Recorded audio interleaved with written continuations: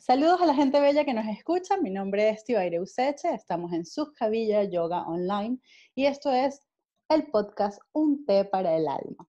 Un espacio audiovisual para compartir perspectivas sobre el yoga más allá del tapete o mat, mientras compartimos un delicioso té acortando distancias. En el episodio de hoy tendremos a Esteban Salazar desde Costa Rica, quien estará compartiendo un poco no solo acerca del método del cual es co-creador, Krama Yoga, sino de su experiencia en general como aprendiz, como practicante y como formador de instructores de yoga. Esteban Salazar, maestro internacional de yoga con 22 años de práctica y 18 de enseñanza, es economista, es administrador de empresas, con énfasis en mercadeo. Además, es surfista apasionado. También eh, porque visualiza tanto el surf como el yoga con constante conexión entre los elementos. Sus clases, según él mismo lo describe, son como montarse en una ola y entrar en un viaje rico de fluir de creatividad y expresión del corazón. Esteban es uno de los creadores o co-creadores, como les dije, del método Krama Yoga, el cual se basa en, en honrar el orden secuencial sin dejar de lado la parte filosófica. Todo lo que hace de sus clases una sincronía biomecánica creando una armonía entre el conocimiento, la experiencia y hacer flujo pránico de la respiración o la energía, o que la energía sea óptima. A Esteban Salazar lo voy a conocer hoy realmente junto con ustedes, pero lo sigo desde hace algunos meses cuando un par de amigos y exalumnos míos me hicieron referencia de un taller de Krama Yoga increíble que estaban realizando en la ciudad de Medellín y la gran admiración que sintieron desde el principio por la energía, el dinamismo, la pedagogía, el carisma de Esteban durante esa formación. Llena de curiosidad, desde entonces sigo de cerca sus publicaciones y hoy le doy la bienvenida a Un té para el alma. Bienvenido, Esteban. Hola, ¿cómo están? Mucho gusto, Esteban Salazar. Ya casi me trae mi tecito. Estamos en el protocolo ahí con la bebé, entonces ya casi me lo traen. Eh, para mí es un honor estar por aquí, Tibaire. Muchísimas gracias por, por invitarme. Eh, por dicha, estamos con tecnologías que nos unen mundialmente en momentos de la vida que nos separa del universo. Sin embargo, es parte de la vida, se llama la danza entre los opuestos. Eh, es parte de lo que el Tantra nos enseña, es la escuela que yo sigo. Luego hablamos un poquito más de los diferentes tipos de tantras, tal vez, porque este, mm, de la gente es como que escucha tantra, automáticamente relaciona la parte sexual y todo el tema morboso. Sin embargo, nada, o sea, el tantra significa tejer y, nos, y tejer es unir y el tantra lo que busca es unir mediante diferentes maneras. Entonces, de nada, para mí es un honor estar por aquí este, y haber conectado eh, de, de, esta manera con tus alumnos que quiero muchísimo y un país, Medellín, que, que quiero mucho también. Eh, mi esposa es de ahí, mi ah, esposa es colombiana, es paisa, sí. Sin embargo, mi esposa vive en Costa Rica aproximadamente hace casi 20 años, ella se vino para acá. Mm. Hace bastante, en el pico inestable que tuvo Medellín hace muchos años. Eh, pues Colombia para mí es un país espectacular, un, una segunda casa, tengo muchos amigos y amigas, alumnos, alumnas, colegas, personas que admiro mucho. Y pues nada, ese, somos ciudadanos del mundo, no de país. Totalmente, cósmicos. Cósmicos también, universales. Te cuento un poco cómo, cómo va la cosa. esta, esta idea de, de un té para el alma sale de, de, una, de un impulso que tuve hace un tiempo al escuchar cuatro preguntas que se le hacen a las personas que regresan de coma, de, un estado de inconsciencia.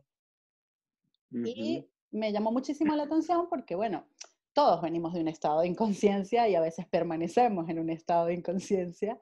Entonces, eh, eso por un lado. Y por otro lado, a veces vamos a, practicar yoga con, particulares maestros o, instructores y bueno, vamos, hacemos la clase, nos vamos y nunca sabemos realmente quién es ese corazón que late ahí frente a nosotros, entregándolo todo durante una hora, hora y media o el, que sea el tiempo que, nos dedica, ¿no? Entonces quise como traer esas cuatro preguntas de, llamado a la conciencia, tanto a quienes nos están escuchando y viendo, como a, ustedes que están del otro lado de, esta pantalla. Entonces, este, mm, esas cuatro preguntas comienzan con, ¿sabes quién eres? Eh, que si sé quién soy, bueno, sí, creo. Yo soy eh, un ser humano que llegó a este mundo a sumar. Soy una persona, soy un canal, eh, no soy ningún gurú, ni mucho. Bueno, vamos a ver, o sea, si nos vamos a lo que es la definición de gurú, gurú es de la oscuridad hacia la luz, así que cualquier persona que te dé luz sería tu gurú. Sin embargo, no nos queremos ser gurús, porque hay una, si nos vamos a la literatura, pues en la definición todos somos gurús en el momento que sacamos a alguien de la oscuridad eh, o, le enseñamos a alguien. Sin embargo, yo lo veo diferente, somos canales porque lo que hacemos es transmitir información que viene este, ancestralmente, eh, tropicalizada al momento presente, porque también hay que ubicarse que vivimos en el 2000, ¿qué año era? 2020. este, eh, Así que soy un padre de familia, soy, soy un ser humano que, que, me gusta aplicar las tres etapas del yo, que es el yo padre, el yo niño y el yo adulto, que me lo enseñó un maestro cuando estaba sacando una maestría hace un montón de años. Yo, yo, yo tuve, bueno, estudié otras cosas, podemos hablar de eso después, pero saqué una maestría en mercadeo y uno de mis maestros, creo que el único que me acuerdo porque me llegó al corazón, fue ese, que, que nutrir las tres etapas del yo, así que yo creo que los seres humanos eh, somos padres, somos niños y somos adultos, somos niños.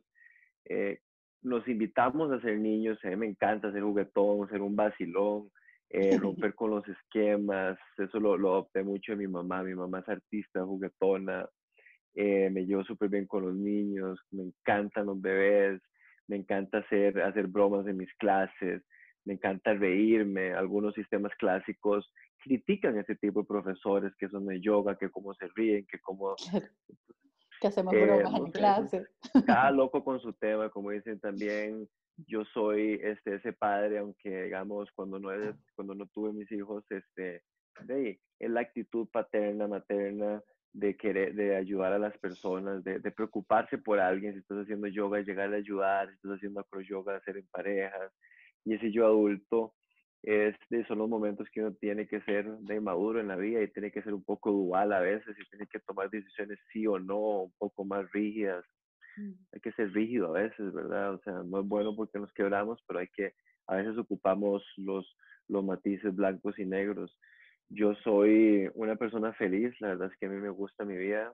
Bravo. Yo soy eh, un apasionado, me encanta, soy apasionado. Eh, soy intenso, tengo mucho fuego en mi vida, tengo que cuidarlo, que tengo un, cuadro que manifiesta el fuego en mi cuarto, me lo hizo un amigo hace muchos años.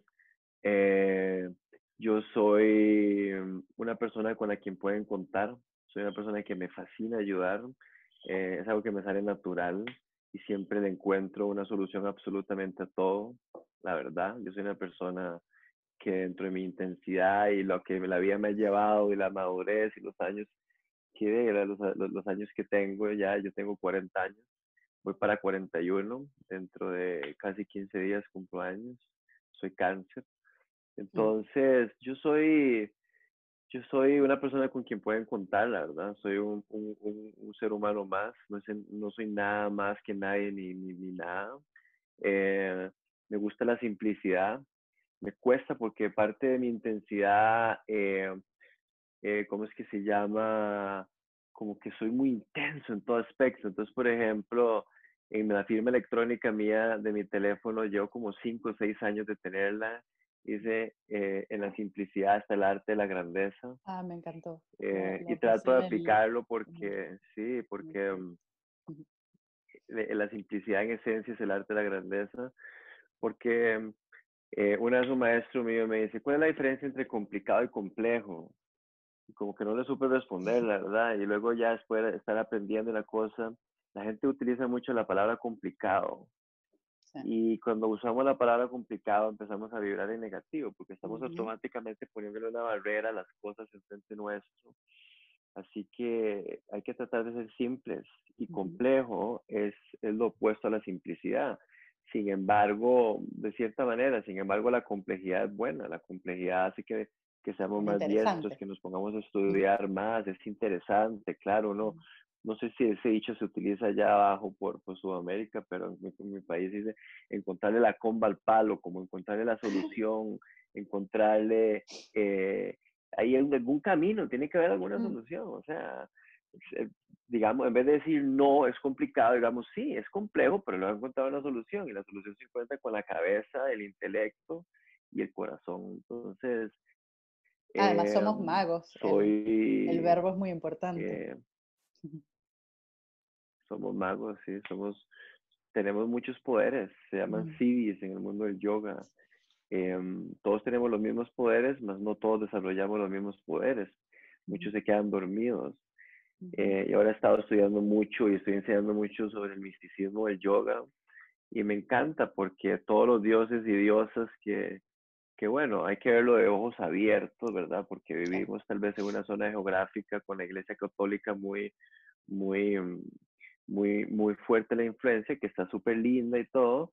Entonces cuando se escucha ciertas mitologías de otras, de, otras filosofías como que si, suelen ser criticadas, y no hay que criticar, eso es pura ignorancia. Entonces lo que hay que hacer es encontrarle mensaje a las cosas. ¿sí? Entonces estoy, estudiando ese misticismo. Soy una persona que me encanta estudiar, me encanta ir mejorando. Eh, soy una persona emprendedora, soy una persona independiente, siempre lo he sido. Em, me ha costado como que alguien me, me, me diga, no, no, es que me cueste que me den órdenes o comandos, pero siempre he tenido esa actitud, ¿verdad? Como un poco independiente. Mm. Soy una persona que le gusta la unión y la familia. Eh, he tratado de unir a mi familia en algunos momentos que se ha desunido, alguna sección de mi familia grande, la, la, la tota, ¿verdad? Un poco macro, no, mi familia pequeña. Eh, soy, soy un buen amigo también. buen esposo y un buen papá. y un buen hijo. Suena muy bien todo. Gracias. Complejamente simple y sin embargo muy interesante. Em, sí, la segunda pregunta de esas, sí, total. La, la, segunda de esas preguntas que se le hacen a las personas que están en estados de inconsciencia es, ¿sabes dónde estás? Y ahí hago un paréntesis de una curiosidad. ¿Eres costarricense o eres colombiano? No, yo soy tico, sí, soy costarricense. Al ah. costarricense le dicen tico, de, chiquitico y, todo, como que usan mucho, mucho diminutivo aquí. Sin embargo, en Medellín es la ciudad del diminutivo. Los campeones mundiales, todos de chiquitico, y, con mis alumnas y mis alumnos me hablan y yo como que me quedo enamorado cuando escucho, los escucho hablar. Me encanta cómo hablan los, los, los los colombianos y más que todos los de Medellín. No sé, me gusta mucho. También es que estaba muy acostumbrado a ir ahí. Mm. Eh, eh, ¿Cómo es que se llama? Repetime de nuevo la, para irme directo como al... ¿Sabes dónde estás? Al, la pregunta, sí. Estoy... Em, em, sí, estoy... Eh, bueno, qué interesante eso, esa pregunta. ¿Viste? A mí me encantó. es compleja. Sí, eh, estoy en una etapa de la vida que me siento súper dichoso de haberla vivido. Esta pandemia em, son, son, son épocas históricas que estamos viviendo. Em, em, siento que, ¿cómo es que se llama? ¿Dónde estoy?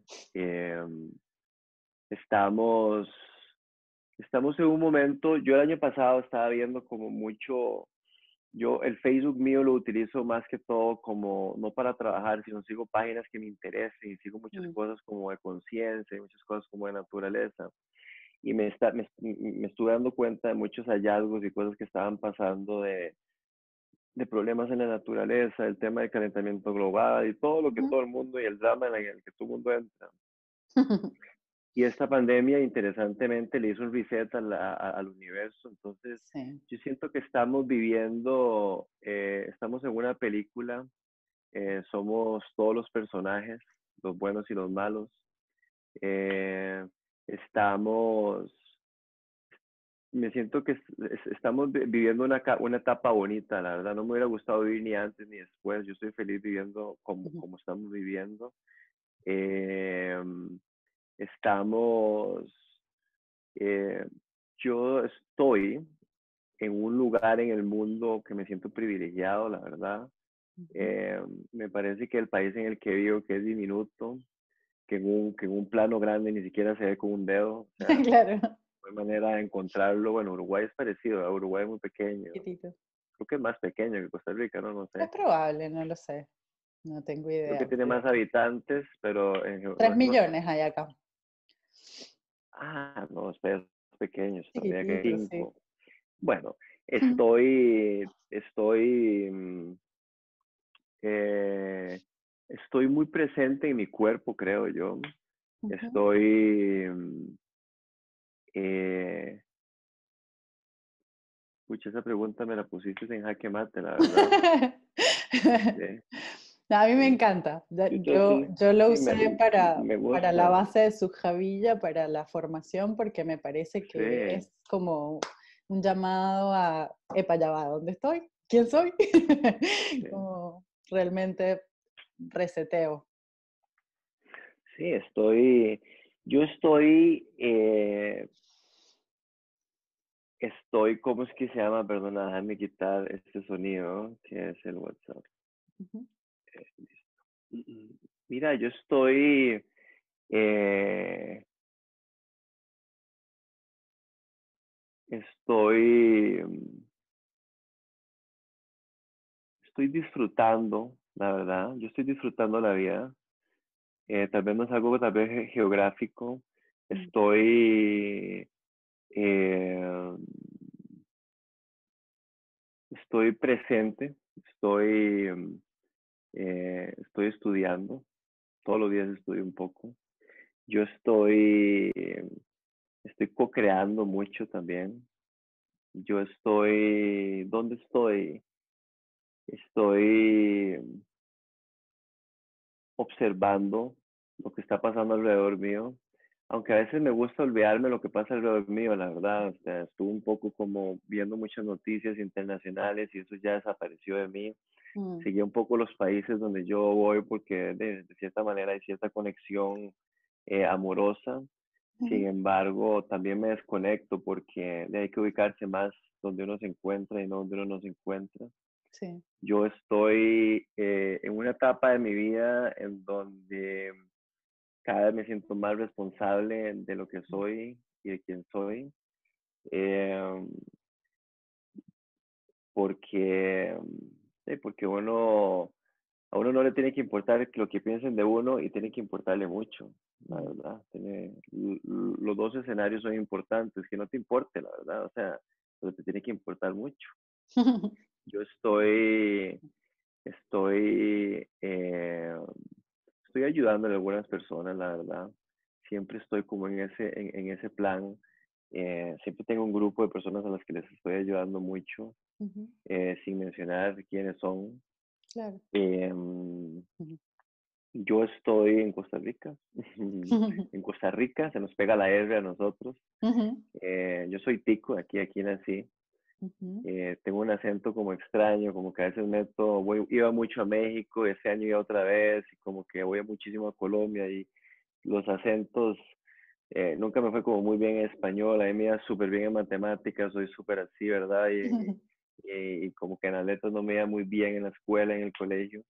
Yo estoy, eh, no sé si leído... cada vez más quién soy. No sé si has leído una, un, un, libro que se llama, perdón que te interrumpí nueva, nuevamente, la, la, raza cósmica. Eh, habla de eso justamente, de que somos parte de una, de una nueva especie, digamos, en la que sí, nacemos en un lugar, pero eh, con la cantidad de movilidad que tenemos y las interacciones que hay entre unos y otros de todas partes del mundo, terminamos adquiriendo, yo tengo ahora un, acento un poco extraño, mezcla de todo, este, pero, pero terminamos siendo eso, la raza cósmica, un grupo de gente que... Sí, es que yo menciono a cada rato que somos, somos ciudadanos universales, no somos ciudadanos de país. Eso me, eh, eso me, me, importa mucho porque hay países que se las tiran, que se creen mucho, eh, o hay personas que se creen mucho. Yo creo que somos seres humanos eh, universales. Yo tengo familia en Venezuela em, y para mí Venezuela es y ahora tiene una situación de lo que le, de lo que le está pasando que no lo vea a nadie, pero me parece que era el país sudamericano número uno, la verdad, mm. eh, en muchos aspectos, o sea, eh, economía, en muchos aspectos, ¿me entendés? Educación, etcétera. Eh, somos seres humanos universales, la verdad. Y es interesante porque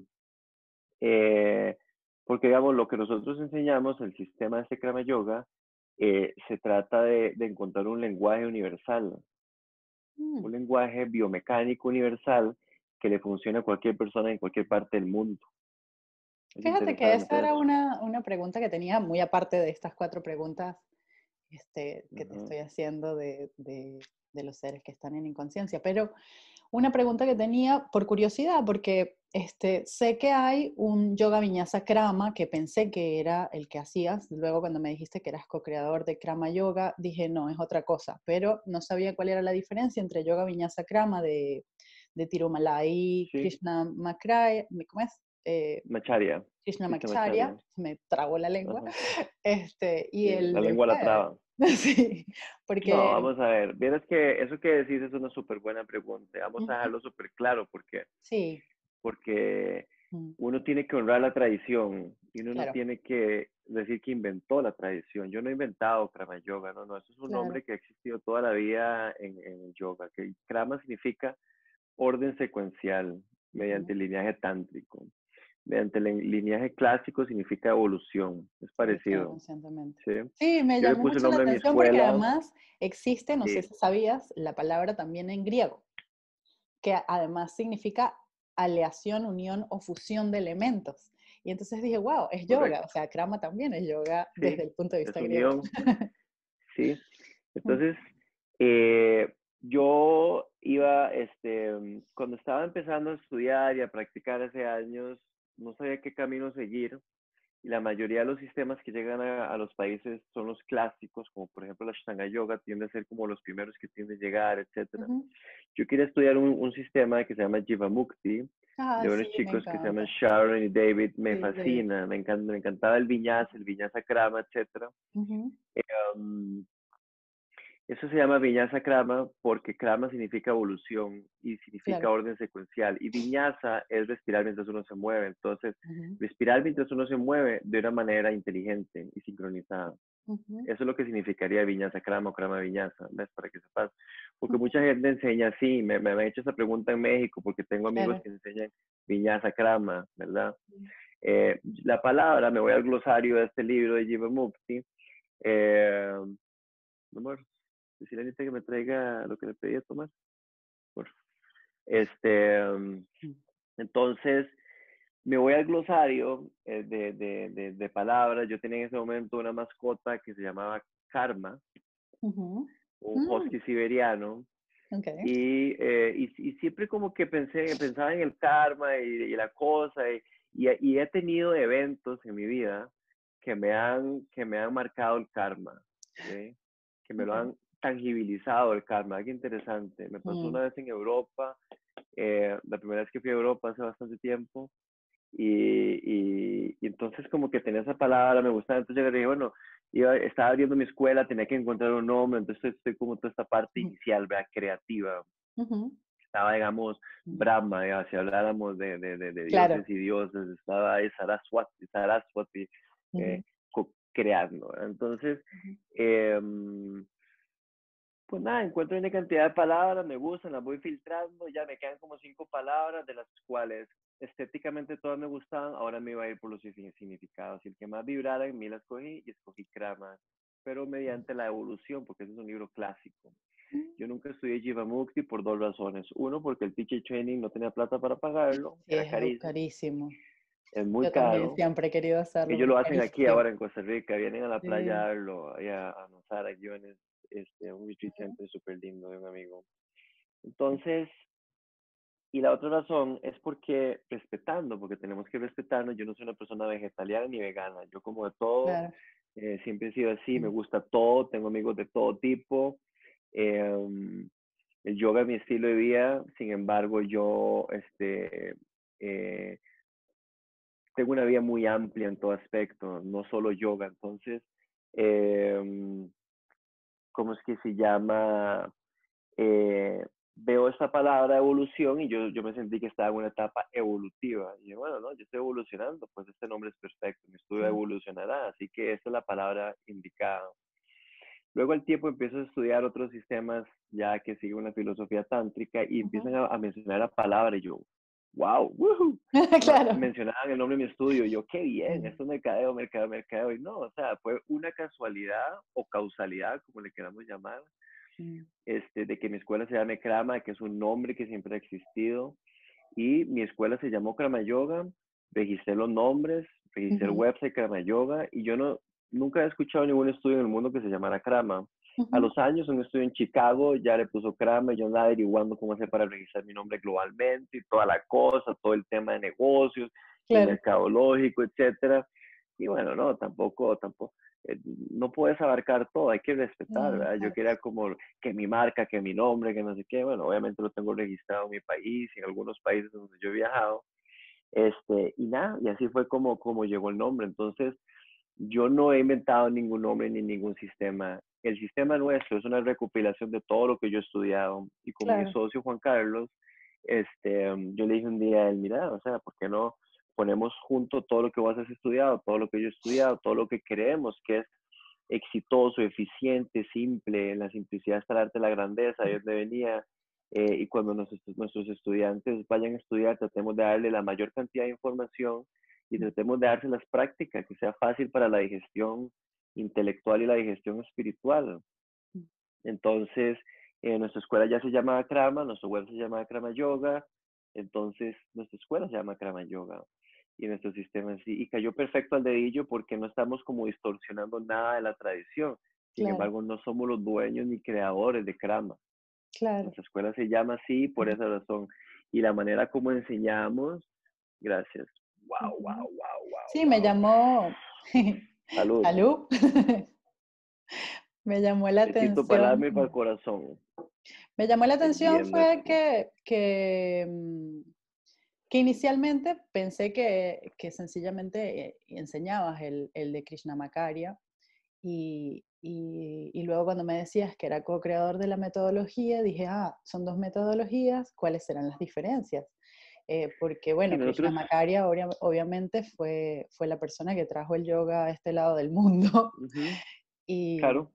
y bueno, este, me sonó el nombre porque pues Patavi Joyce y Yangar, todas las grandes maestros, fueron alumnos de él. Entonces, Sí. este, Sí, exacto, pero entonces yo lo que le digo a las personas es, o sea, nosotros enseñamos, nuestro sistema es un sistema que la verdad es que nos, nos quedó muy bien, creo yo, o sea, es un súper sistema, tiene un súper manual, no necesitas ningún libro.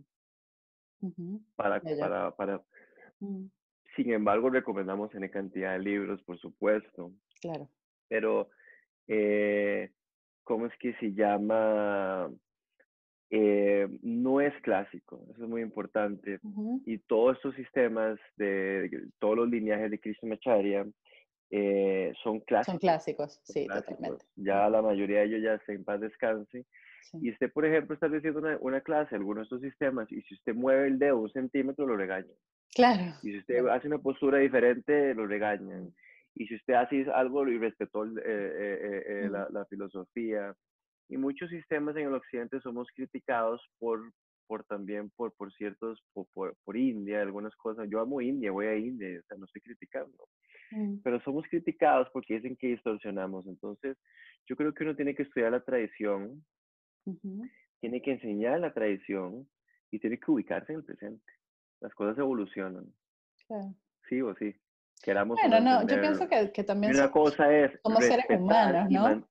Claro, sea- respetar y mantener la estructura, pero no puedes comparar el conocimiento que había de algunas cosas, por ejemplo, anatómicas, hace 20, 30, 40, 50, 70 años, aunque había mucho conocimiento, sí. ahora, había mucho, mucho, mucho, mucho conocimiento, ¿me entendés? Pero, pero yo me he dado cuenta, por ejemplo, que muchos sistemas clásicos que alinean diferente tienen, tienen índices de lesión más altos. Muchos muy altos, sí, es verdad. Sí, entonces, por ejemplo, vamos a hablar ya así, sin crítica alguna. Yo amo la Ashtanga, por ejemplo, me amo. Tengo muchos amigos Ashtangis, pero ahí la, mayoría de las lesiones en el mundo están en Ashtanga Yoga. Están en Ashtanga, sí. Ahí es donde están la, la, mayoría de, las lesiones. No tiene biomecánica la Ashtanga Yoga, por ejemplo, para mí. Sí. Ellos te dicen, caliente el cuerpo, bandas, ujjayi y dele. Sí. Y dele, y practique, practique, practique, practique, practique, practique. Bueno, sí, pero tiene que haber una explicación científica. Eh, porque si usted coloca tal cosa en tal lugar, tiene un mejor o un peor resultado. Está mejor su hombro si lo coloca atrás que si lo coloca adelante. O sea, entonces, eh, básicamente Krama significa eso. Krama no es un nombre nuestro, es un nombre registrado por un tema de marca, negocio en mi país. Es una marca que, que, que, que, uno, mientras más pasan los años, más se da cuenta de que el, el, universo conspira a favor de que si uno hace las cosas bien, sigan las cosas bien y nuestra escuela le ha dado mucho bienestar a muchas personas en el mundo, en muchos lugares. Y eso significa que estamos haciendo bien el trabajo. Y si hay otras eh, personas que enseñan crama viñazo, viñas de crama, está súper bien. Probablemente le llaman así porque su clase tiene un orden secuencial y una evolución. ya, esa, es la, esa es la definición. Buenísimo, clarísimo. eh, volviendo a las preguntas, teníamos, sabes quién eres, sabes dónde estás, eh, sabes cómo llegaste a donde estás en este momento y cómo llegaste además al mundo del yoga. Sí, Vieras que yo amo a mi mamá montones. Okay. Sin embargo, a mi edad de la adolescencia me llevaba bastante mal con ella, la verdad. Y como que no me gustaba su manera de ser, que era súper extrovertida y súper así y, todo. Entonces yo sentía que era inapropiada en algunos momentos, como típico hijo, ¿verdad? Ay, mami, no, ay, papi, no, ay, cuidado, ay, qué vergüenza, típico de un hijo, ¿verdad? que uno puede invertir esas cosas, uno, uno, puede invertir esas cosas. Entonces, yo hoy día soy igualito a ella y cada día la admiro más y cada vez la piropeo más y cada vez, y esa personalidad mía es de, de, ella. Mi, parte estructurada, mi parte ordenada viene más que todo de mi padre.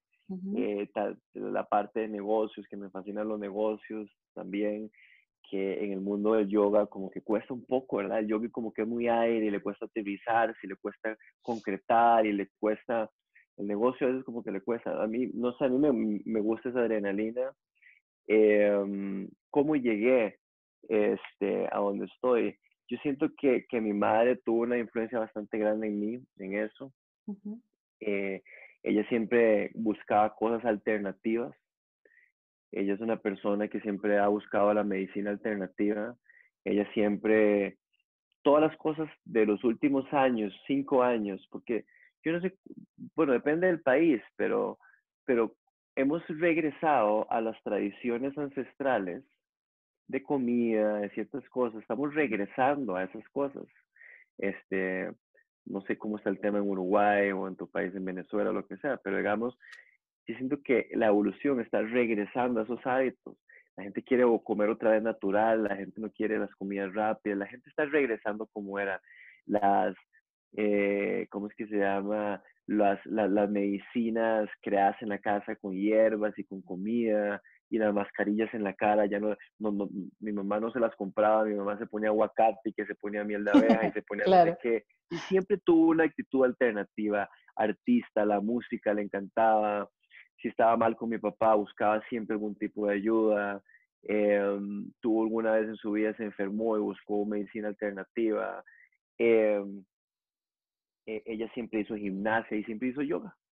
Ella hizo ah. yoga antes de que yo naciera, este, hacía yoga conmigo bebé, acro yoga, me levantaban los y todo el tema, vacilando así.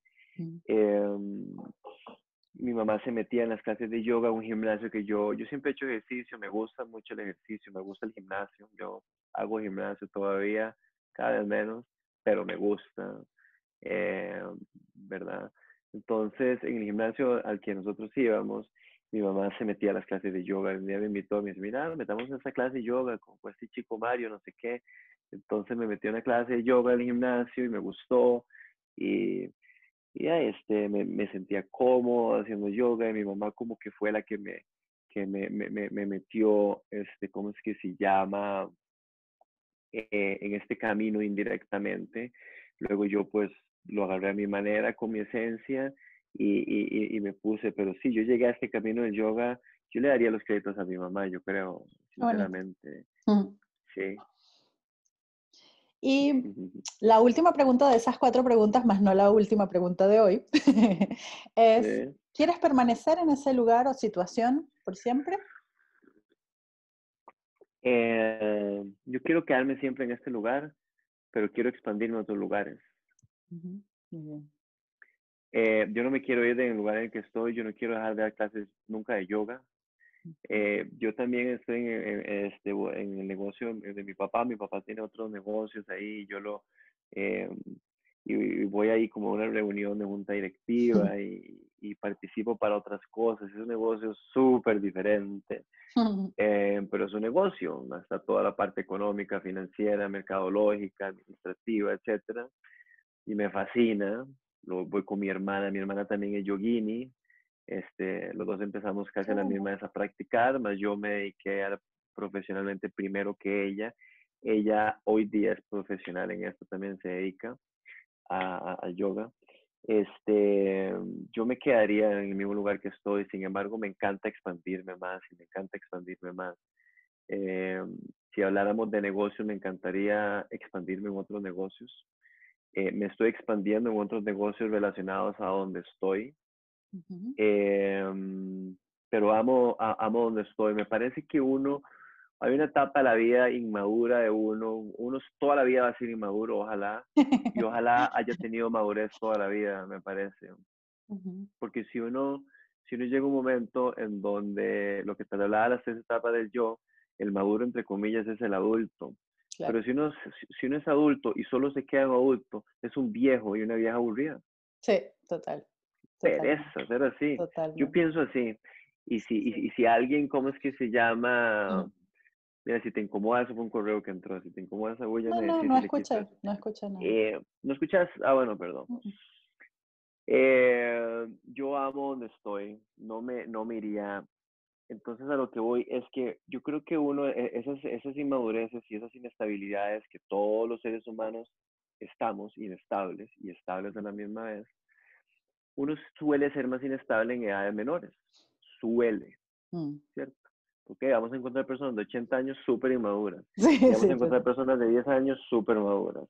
Mm. Pero entonces, eh, cuando uno está buscando el norte de uno y qué hacer en su vida, está en ese vaivén de Tiene que jugar. Mm.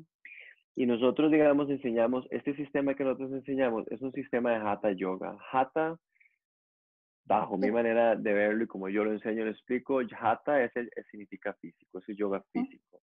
Está el Jnana Yoga, que es el yoga intelectual, y el Bhakti Yoga, que es el yoga emocional. Nos encanta unir los tres. Nos fascina. Podríamos decir que tiene un 33, 33, 33%, aunque nuestro sistema es un sistema de Hatha Yoga. Y mediante mediante la conexión física y el alineamiento biomecánico, uno se conecta con un ente superior, con Dios. Así es como el Tantra lo dice. Si usted se alinea de diferentes maneras, si usted se alineó con su familia, se lleva con su familia. Si usted, se desalineó con su pareja, se peleó. Entonces, alinearse es fluir en la corriente, que puede ser física en el Hatha Yoga o no. Entonces, en el Hatha Yoga enseñamos dos cosas.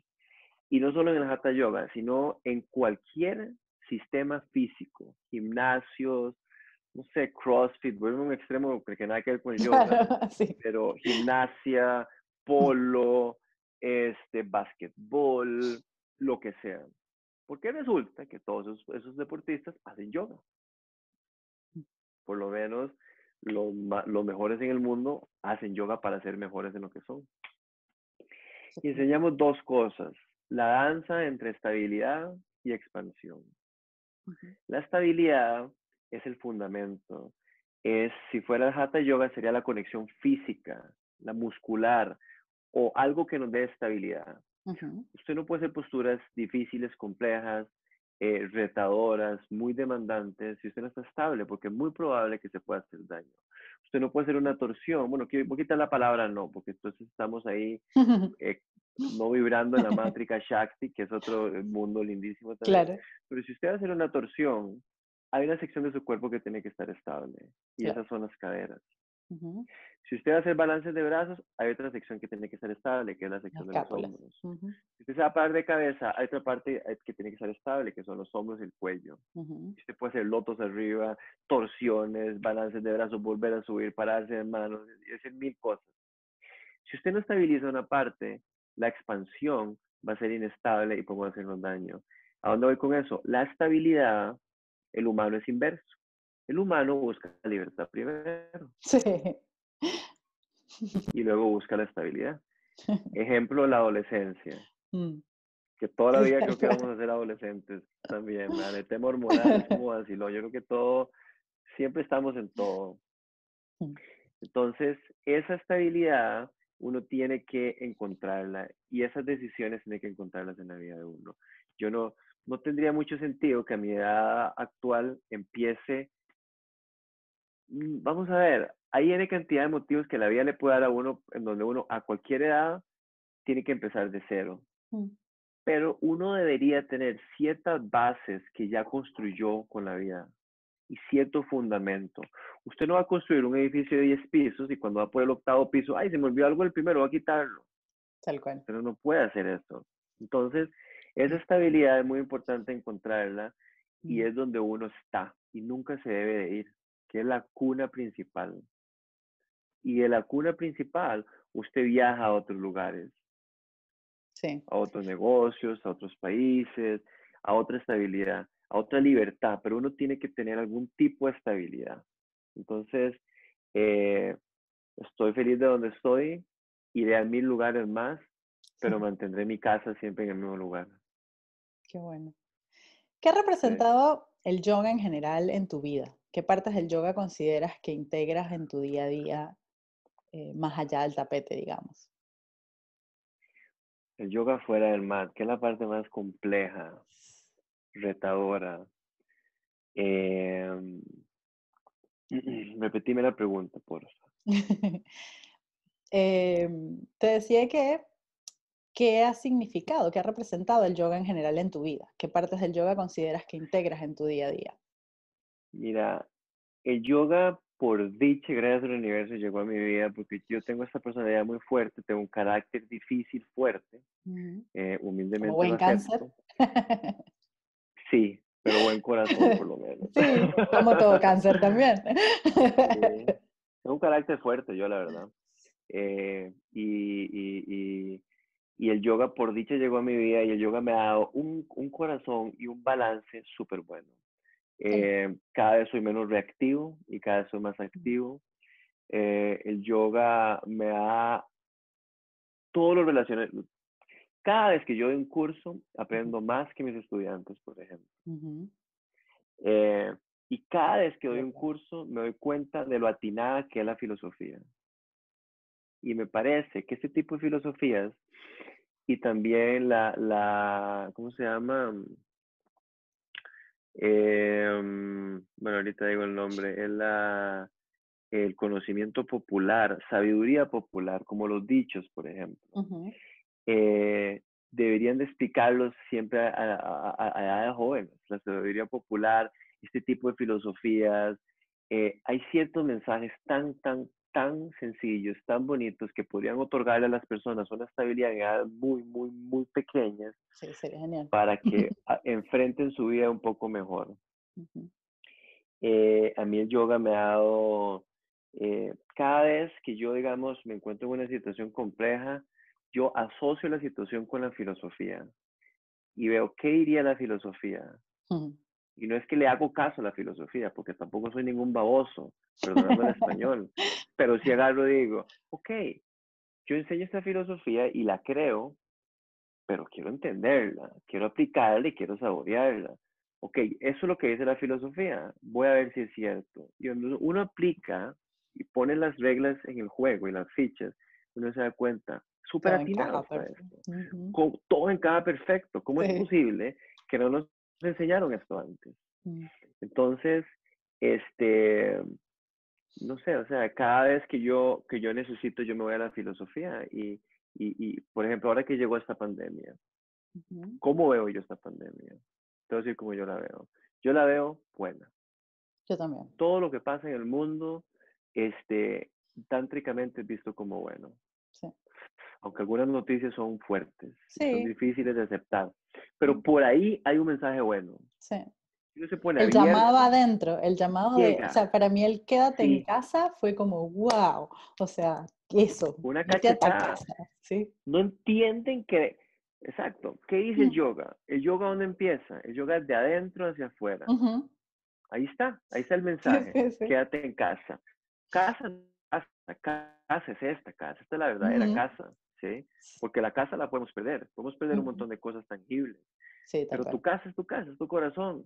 Y la gente, eso es lo que te decía, la gente anda afuera, los adolescentes mm. andamos afuera en sus momentos de la vida y luego nos metemos en problemas y andamos viendo a ver cómo solucionar los problemas en el corazón y en la cabeza. Queremos ser independientes, pero no tenemos plata. ok. Súper vacilón, ¿verdad? Entonces, yo siento que esta pandemia llegó súper bien. ¿Qué hice la filosofía? ¿Cómo interpreto yo esto? Vivíamos el mundo el mundo era este, y resulta que había un mundo a la par que nunca lo habíamos visitado, no lo conocíamos. O había una montaña donde vivíamos y había una montaña a la par que nunca habíamos, nunca habíamos ido, nunca habíamos escalado esa montaña. Pero resulta que esa montaña era igualita a esta y tenía lo mismo, nada más que no la conocíamos, pero había que adaptarnos al sistema nuevo. Entonces, no es que vamos a perder donde estuvimos, no, donde estuvimos lo tenemos y somos más máster y, profesionales donde estábamos, pero somos aprendices donde estamos ahora. Exacto. Entonces estamos reencontrándonos en una danza opuesta. Y el camino de donde estábamos al camino a donde estamos ahora, todo ese camino te dio N cantidad de mensajes. Malos días, buenos días. Llantos, felicidad y ahora estamos aquí viviendo, tropicalizándonos aquí, regresando allá, pero no es que regresamos, sino que la onda expansiva de aquí está llegando a esta. Y va a llegar un momento donde las dos se van a unir. Y esta montaña, esta montaña, o estos dos mundos, es el dualismo, que es necesario. Hay que ser dualista en algunos momentos de la vida. Pero esa, e, e, esa danza entre los opuestos nos va a otorgar N cantidad de puntos medios que es donde vamos a estar vibrando y viviendo. Y es lo que cada quien va a escoger vivir. Y es necesario para que pasara esto.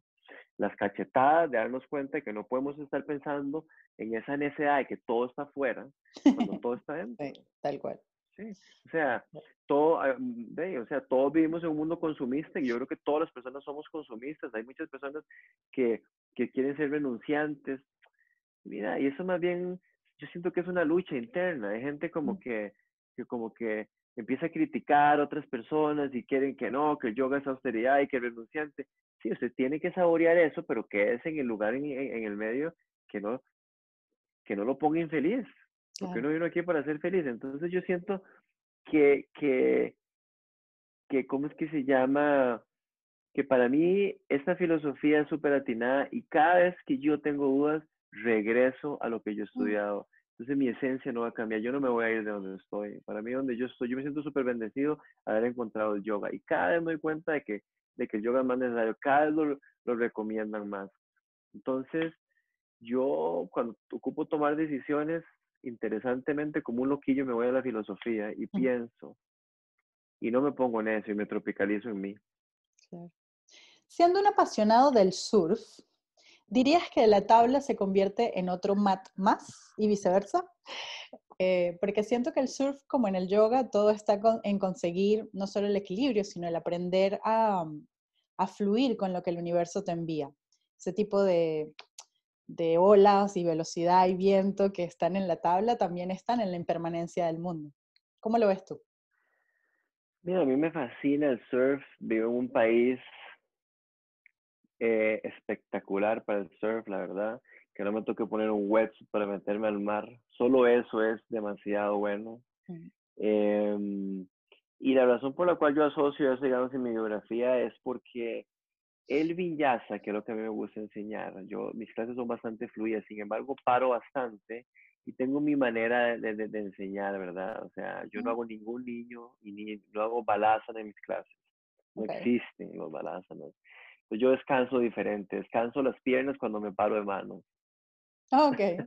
en el aire la de las piernas. Claro. Descanso los brazos cuando estoy de pie, ¿verdad? Entonces, y ese crama, esa evolución, y esa ola, uno, uno, uno, uno cae y uno fluye hay que tratar de ser lo más fluido posible y el elemento agua es muy importante despertarlo en la vida de uno. Y ese elemento agua está en las caderas, que es el segundo chakra. Y es muy, muy, muy, muy, muy importante porque el agua nos limpia, el agua nos nutre, el agua nos regala fluidez. Y el agua es aprender de que uno no puede bloquear algo, porque si uno bloquea la energía, se pudre la, contraparte. Mm. Entonces, el, el, la, tabla, la, eh, la tabla de yoga no es otro más, sin embargo, es una manera más de encontrar fluidez en la vida. Una manera de encontrar fluidez en la vida es respirar conscientemente, darse cuenta que todo lo que uno hace fue mediante una respiración.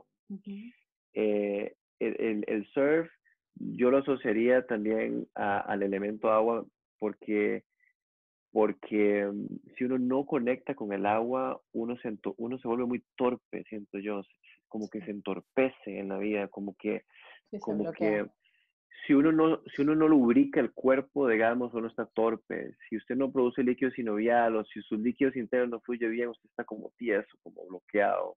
Mm.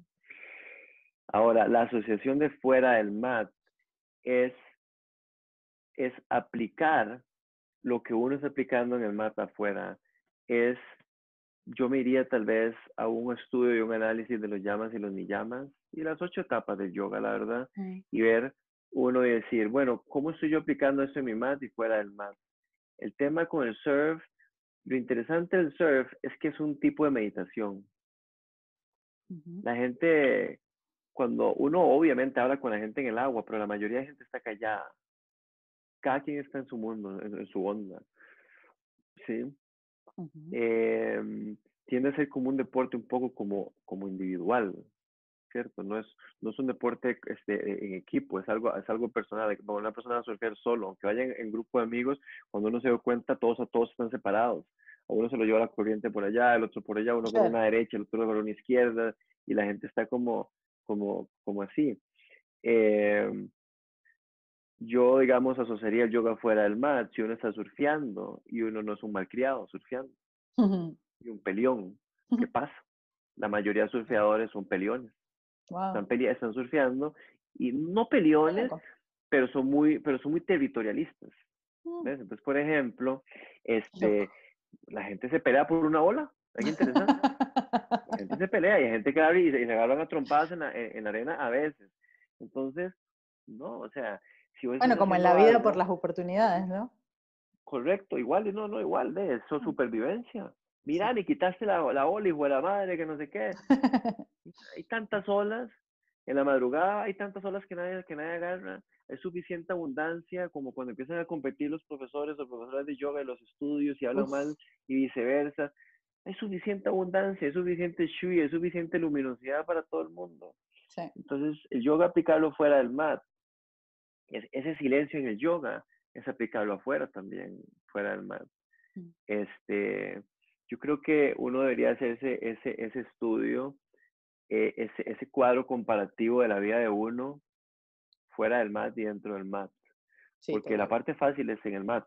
Esa es la parte fácil. Sí, Porque la gente cuando empieza a practicar dice, no, no, ¿qué es esta locura? Esto está dificilísimo, prefiero hacer un, un triatlón más, difícil, más difícil hacer yoga que un Ironman, las personas.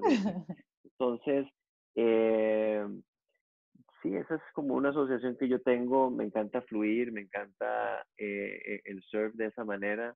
Me encanta que una clase de yoga sea fluida. No hay nada más rico que una clase de yoga sea fluida para poderse desconectar y conectarse en algo nuevo. Eh, el surf es exactamente igual. si hablamos de yoga fuera del mat y asociar, y asociar eso, yo me iría más que todo en, el tema del comportamiento del humano, más que todo emocional.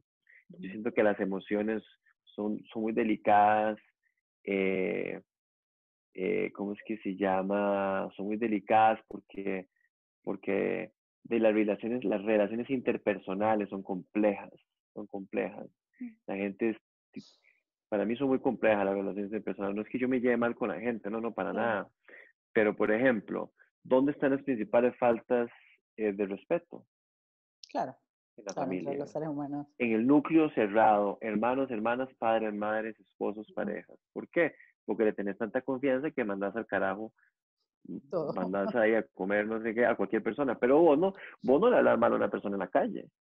No sabes si te mete una trompada. Mm. ¿Verdad? Entonces, es, es como uno aplica eso, más que todo en, e, e, en, el nicho, en la familia de uno. Y si uno agarra una bola, decir, agarra la voz. Y que la otra persona dice, ¿qué? Ah, cortesía. ¿Sí? Ese es el yoga fuera del mar, yo creo. ¿Me entendés? ¿Consideras este, que, que, Me encanta esa fluidez que, que genera. ¿Qué, qué? ¿Cuál consideras que es el desafío más grande hasta ahora como practicante y como instructor de yoga? El desafío más grande como practicante, como practicante, específicamente en la práctica, em, bueno, el desafío más grande al principio son las posturas. Es algo físico, al principio es algo físico. Em, cuando uno ya empieza como, como, está todo un tema de coches y un tema de las envolturas y todo un tema ahí. Pero digamos, la parte más fuerte es la parte física, creo yo, externa. Cuando uno logró pasar esa parte externa y logró entrar adentro a la cueva, y a la gente no le da miedo estar en su propia cueva del corazón, que mucha gente se vuelve loca cuando se da sus propias cuevas. El reto más grande al principio es la parte física para un practicante, para mí, porque sus cabezas no han entendido todavía, porque la mayoría de gente llega por algo físico, que esa es la realidad. Por lo menos en el sector occidental, la mayoría de personas hemos llegado por la parte física. Yo te pondría un porcentaje muy alto. Los que nos quedamos, todos nos enderezamos y todos caemos en la misma, en la misma pileta, que es el llamado, que hay, hay una historia mitológica eh, en donde, por ejemplo, todos estos, todas estas deidades tienen, por ejemplo, yo tengo aquí, este es el altar de mi casa, y tengo deidades chiquiticas, en el estudio tengo unas grandototas, aquí tengo un Shiva Nataraya, y un día se estaba contando la historia de Shiva, pero solamente voy a hablar de un elemento, que es la cobra, que es la, son las culebras, es una culebra que sale por aquí. Y resulta que la culebra, bueno, tiene un montón de connotaciones, ¿verdad? Una de las connotaciones de la culebra es que las culebras tienen la habilidad de sumergirse, de entrar a la tierra, tienen esa habilidad. Entonces, eh, y hay, otra palabra que este, cuando estamos llaman y llamas y todo lo demás, hay una, que se llama tapas. Sí. Que es la disciplina, que es mm. el fuego, tap significa fuego, que es el fuego de la disciplina, de cualquier tipo de disciplina. Entonces, la culebra, lo, que, lo que dice es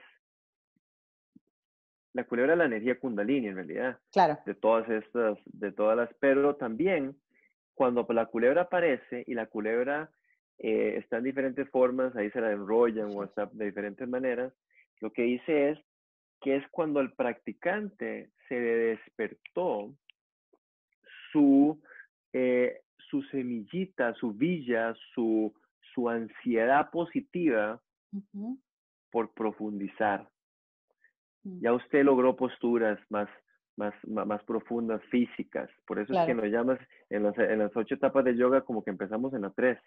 Sí. Empezamos en asana, la mayoría de gente. Luego nos vamos a pranayama, luego volvemos a la uno y a la dos. Sí. Y luego nos vamos a la Cuidado y si no al final. etcétera. también, también. Entonces, a lo que voy es que cuando se despierta esa, esa sed por aprender más y por profundizar más, es la inmersión que hace esa culebra. Eso es la parte más, más, más bonita y retadora también, creo yo, porque cuando empezamos a profundizar capas, empezamos a encontrar cochinada por ahí. Obvio, obvio. Basura, em, sistemas tóxicos, toxicidad. No es malo, la toxicidad no es vista mala tántricamente. Mm. No, no. ¿Cómo hace? Hay una analogía que se llama la ansa entre el veneno y el néctar. La ansa entre la toxicidad y el dulce, el néctar. Entonces, ese, esa cochinada y eso cuando uno va sumergiendo, se va entrando y se va topando con demonios, entre comillas, que es uno mismo en las versiones no buenas, que uno tiene que aceptarse. Entonces, la práctica regular, el sadhana, la práctica, la práctica, la práctica, la regularidad en la práctica, hace que esa toxicidad, que ese veneno, se convierta en néctar. Claro. Y esa transformación es retadora.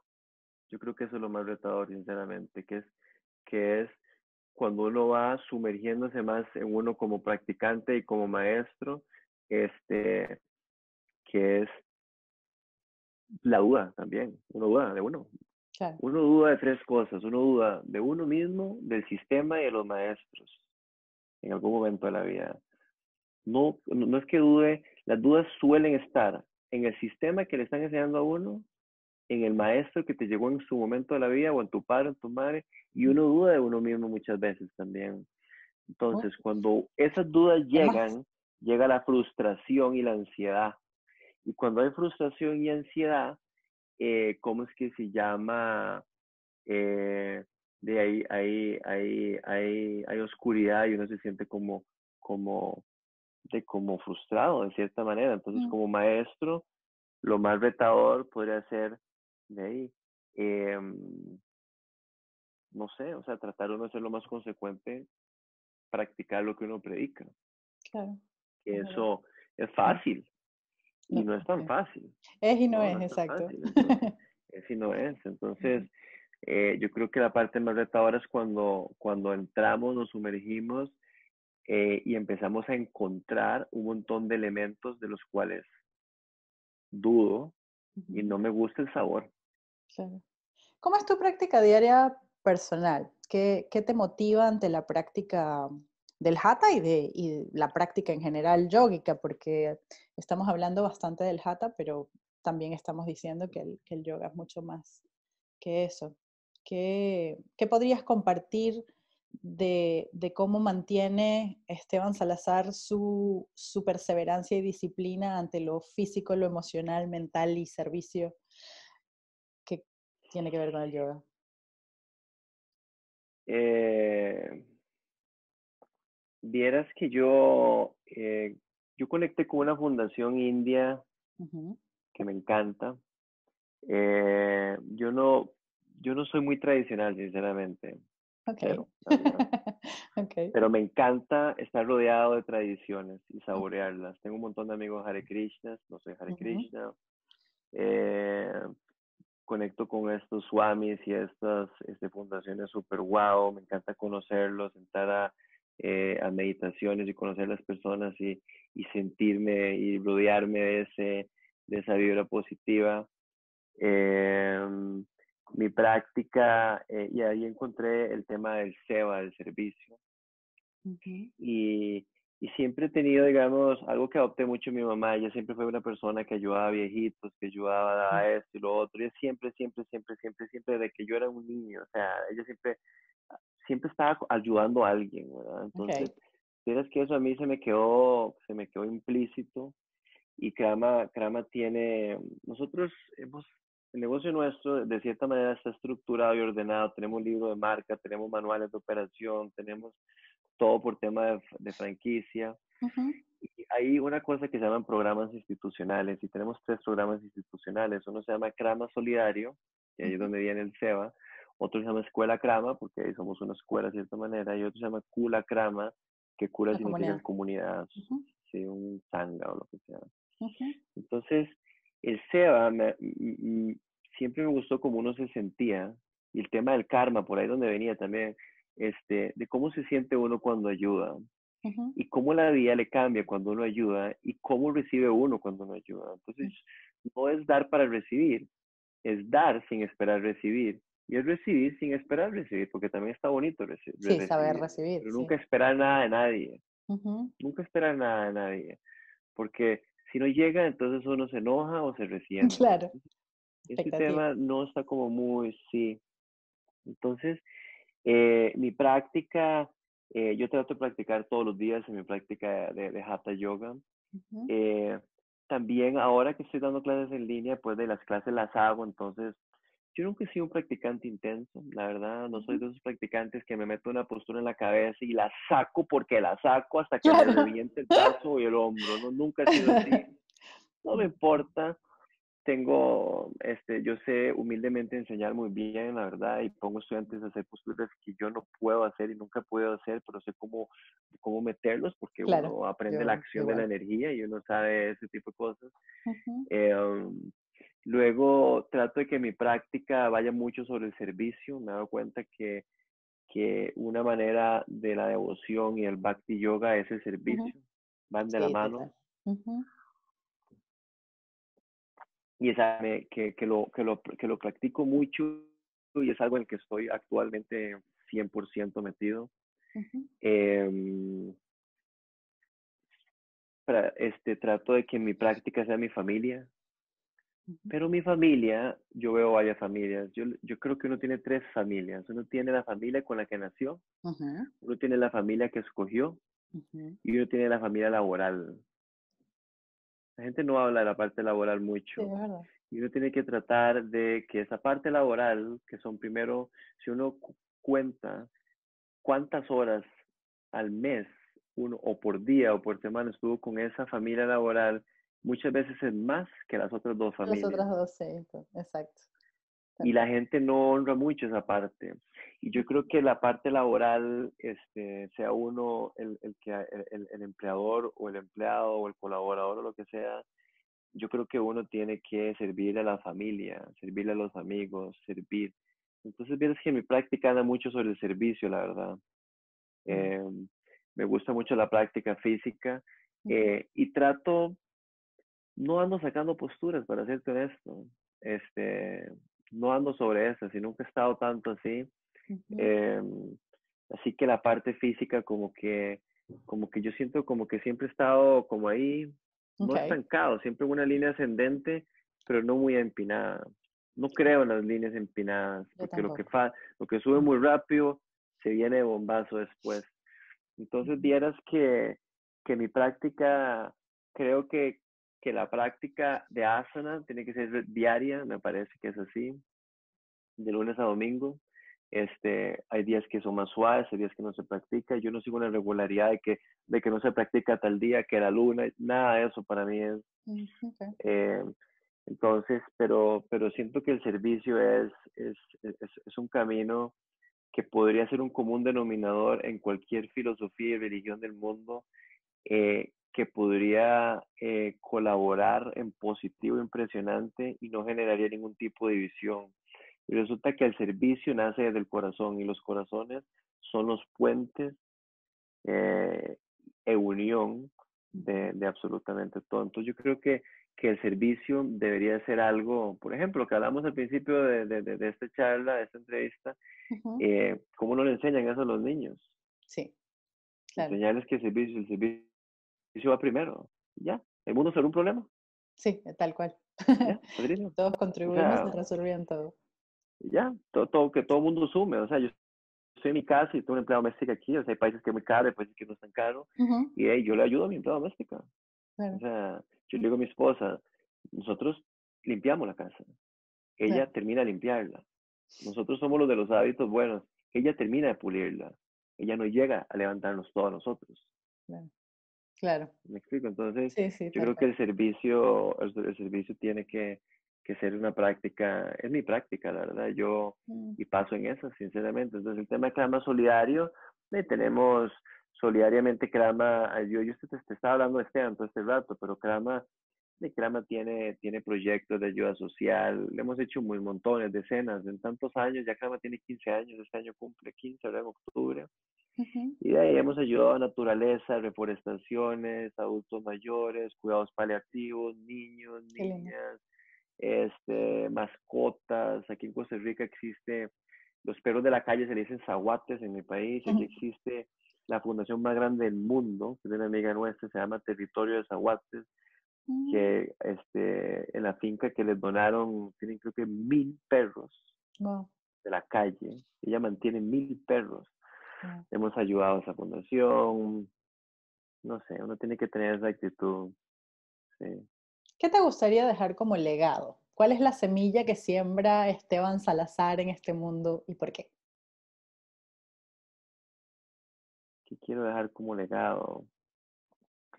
Yo quiero dejar como legado de que todo en esta vida tiene solución y que nada ganamos con desesperarnos y que, mm, y que los corazones, que hay una línea, que no hay una línea piramidal, no hay nadie más importante que nadie, nadie, no hay ningún presidente que sea más, nada más que nadie.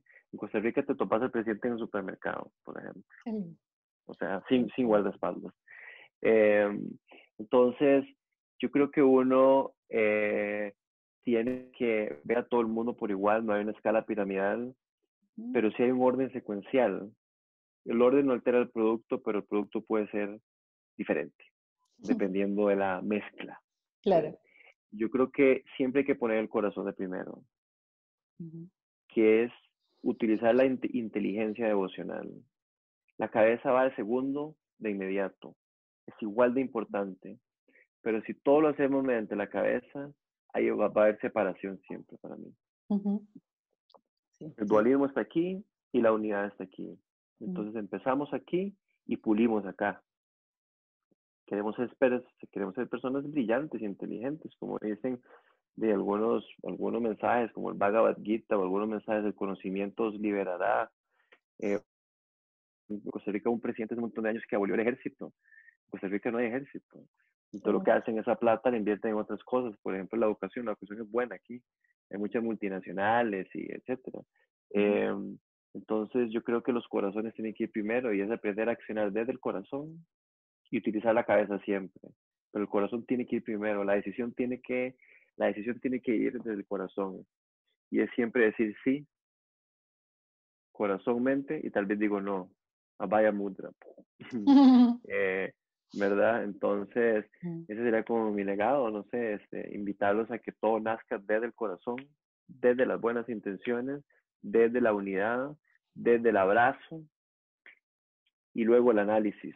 Y el análisis que sea mediante el conocimiento y el intelecto, no mediante mm, la, separación, no mediante la... Correcto, correcto, la envidia. La envidia, la envidia hay, hay una historia ahí de, de, de Gayatri, el Gayatri Mantra, el Om uh y, y hay, hay, varias historias. Hay una que, que habla de, de, dos sabios, uno se llama Vashista y otro se llama Vishwamitra, de Vishwamitrasana y de Vashistasana. Y resulta que los dos eran sabios, pero un sabio le tenía celos al otro sabio. Siempre va a pasar, o sea, por más bueno que sea, pues, eh, por más bueno que sea el Papa, hay otros papas que le tienen celos al Papa. Claro sea, em, los celos no están bien, entonces el juicio, la separación. Mm. Entonces, primero unidad y luego la cabeza, porque si primero ponemos la cabeza, eh, la cabeza va a romper. bloquea el corazón, es verdad. Lo bloquea, lo bloquea. Entonces hay un orden secuencial. Por ejemplo, nosotros, este, yo tuve una escuela muy linda que quiero mucho, yo honro mucho, que está en mi corazón, que se llama Anusara Yoga. Y pues, nuestra, nuestra escuela está muy influenciada por Anusara, más este, nosotros pusimos otras cosas que nos parecían y otras cosas que no nos parecían de Anusara. Pero hay algo que, que, que mantuvimos que son los principios universales de alineamiento y este, que dice la gracia, conexión muscular, espiral interna, espiral externa, expansión orgánica. La espiral interna y la espiral externa no puede ir primero la espiral externa que la interna. Porque cuando uno activa la espiral externa es el glúteo el que, el que interviene y cuando, cuando uno activa la espiral interna es el aductor eh, de la cadera el que interviene y es más potente el glúteo que el aductor. Entonces, uno elimina, bloquea al otro. Entonces el orden secuencial sí va a alterar el producto. ¿Me explico? Entonces, si usted mete primero el corazón, la cabeza pule. Si usted pone la cabeza primero, generó separación. Y el corazón puede ser bloqueado. Es verdad. Bueno, Esteban, todo un placer haberte tenido en nuestro octavo episodio de Un té para el alma. Te agradezco muchísimo tu presencia, tu tiempo, tu energía. Me encantó tenerte acá. Muchas eh, gracias, un placer. Salud. Salud. Pura vida. Y estoy para servirles cuando quieran. Eh, yo soy una persona que le contesto a todo el mundo, así que si me escriben en mis redes sociales, les voy a contestar. Yo no soy de las personas que no contestan. Eh, así que, estoy para servirles, pura vida. Bueno, ya saben, entonces le pueden escribir a través de Esteban Crama en Instagram y de hecho también está como Esteban Crama Yoga, si mal no recuerdo, en Facebook, ¿correcto? Sí, este, no sé si puedes compartir ahí en, Facebook, me pueden encontrar si Esteban Salazar, se pone Esteban Salazar Crama Yoga y le aparece en cualquier lugar. En YouTube hay muchos videos en YouTube, eso este, está muy completo, la verdad YouTube mío lo he estado nutriendo mucho. Tengo muchos, muchas charlas, tengo como 40 charlas interesantes y algunas clasecitas también, como hay tres, como tres clases. Y si quieren practicar con nosotros sería un honor. Bueno, muchísimas gracias, de verdad. Eh, gracias, mi gente hermosa, por acompañarnos una vez más en otro episodio. Su presencia y valoración es lo que hacen que esto tenga sentido, por eso les pido, como cada sábado, que contagien todo este amor, que multipliquen bienestar, que hagan vibrar alto, que compartan y contagien amor y todo lo bello, y que si les gustó este episodio o lo que estamos haciendo, lo compartan a través de los diferentes canales de audio, a través de YouTube, a través de Facebook, de Instagram, de su Javilla Yoga. Eh, y bueno, gracias a todos. Namaste. Chao, namaste chicos y chicas. Pura vida.